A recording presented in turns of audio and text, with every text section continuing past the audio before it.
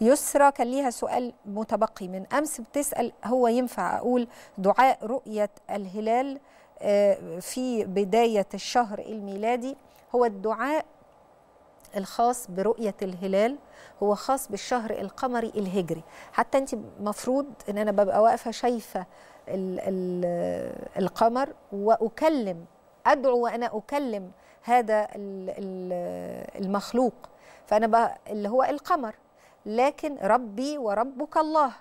فالأصل إنه للشهر القمري ومن إن أنا بقوله مع استهلالة الشهر القمري. لكن ليس هناك ما يمنع الدعاء عند بداية الشهر الميلادي به أو بغيره. لا بأس. لكن أبقى فاهمة إنه صيغة الدعاء خاصة بالشهر القمري صاحبة السؤال الأستاذة يسرا.